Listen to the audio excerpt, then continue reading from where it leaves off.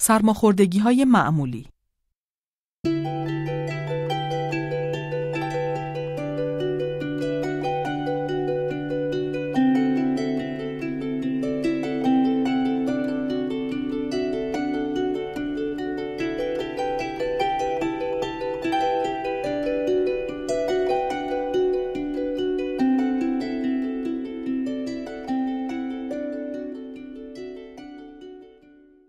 صد و یک از ماهی و غذاهای دریایی قافل نشوید. عنصر شیمیایی روی طول دوره سرماخوردگی را کاهش می دهد. بنابراین با خوردن ماهی زیاد و غذاهای دریایی که سرشار از روی هستند، دوره سرماخوردگی را کوتاه کنید. گوشت قرمز، لوبیا و آجیل هم سرشار از عنصر روی هستند. 142. سوپ جوجه که دوست دارید. سوپ جوجه سابقه ای طولانی در درمان سرماخوردگی دارد. مقداری پیاز، سیر و مریم گلی در آن بریزید و های آنها را ببینید. موقع سرماخوردگی روزی دو بار و هر بار یک کاسه سوپ جوجه داروی مفیدی خواهد بود. 143. با زنجفیل به جنگ سرماخوردگی بروید. زنجفیل تازه یکی از ریشه های مهم و گرم است که با گرفتگی هایی که در اثر سرماخوردگی در مخاط داخلی به وجود می آید مبارزه می کند. دمنوش درست کنید و دو تا سه تکه زنجفیل تازه به اندازه دو سانتی متر در آن بیاندازید و بگذارید حدود سی دقیقه بماند. برای خوش شدن آن هنگام نوشیدن کمی اصل یا شربت افرا در فنجان بریزید. 144 سوپ خود را با فلفل میل کنید. سوپ جوجه یا سبزی درست کنید اما شیر و خامه در آن نریزید چون مخاط را تحریک می کنند. در عوض قدری فلفل قرمز در آن بریزید تا کلک سرماخوردگی را بکند.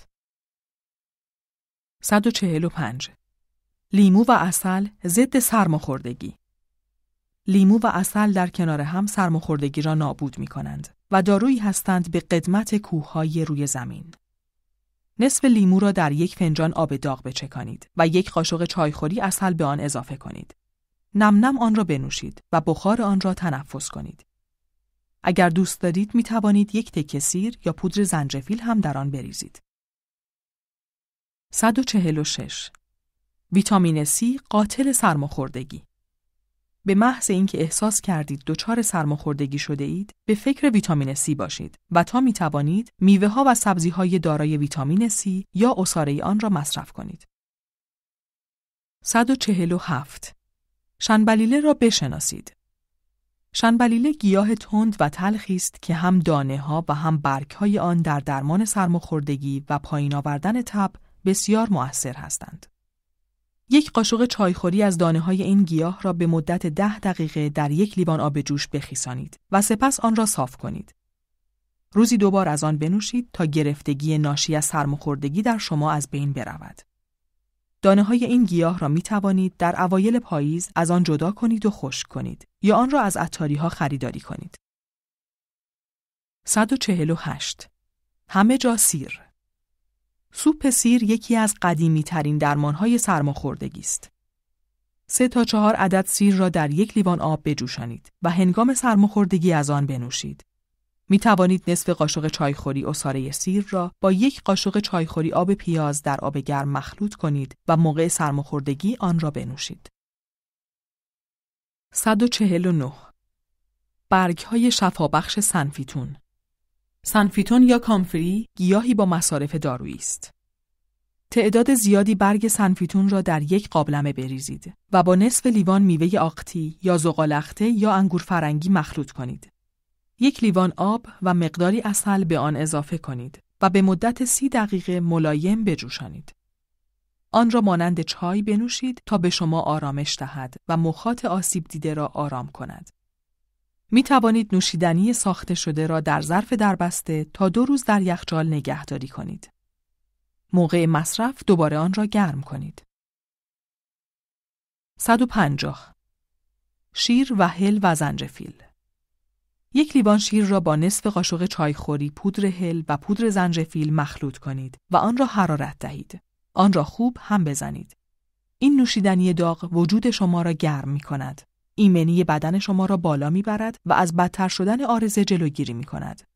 به جای هل و زنجفیل از زردچوبه هم می توانید استفاده کنید.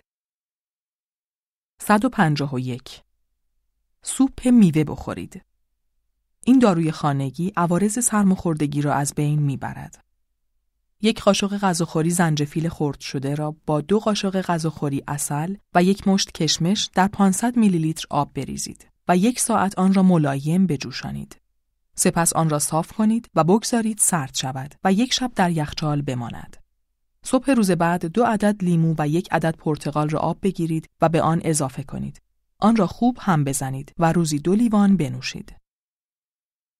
152 جویدن درمانی جویدن سبزی جعفری تازه یکی از راه های درمان سرماخوردگی است چون نفس را تازه می کند و باعث رفع گرفتگی مخاط گلو و بینی می شود.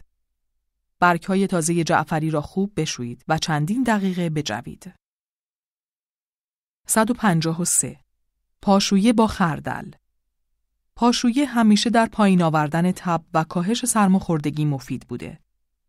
به اندازه سه لیتر آب را در یک لگن بریزید و دو قاشق غذاخوری پودر خردل خشک به آن اضافه کنید و پاها را به مدت 20 دقیقه در آن بگذارید. اما اگر دیابت دارید و گردش خون شما ضعیف یا پوست شما ملتهب است و زخم باز دارید، از انجام این کار خودداری کنید.